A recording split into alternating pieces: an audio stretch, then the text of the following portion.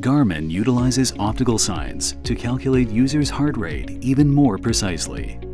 Non-invasive optical sensors shine LED light on the skin surface to detect fluctuations in blood reflectivity and absorption, resulting from changing blood flow during the heart's expansion and contraction, allowing precise calculation of heart rate data from moment to moment.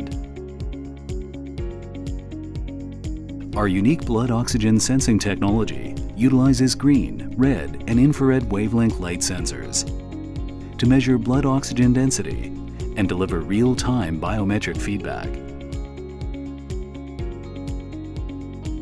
Garmin's exclusive integrated technology uses G sensors to filter out external signal noise and provide precise readings to users.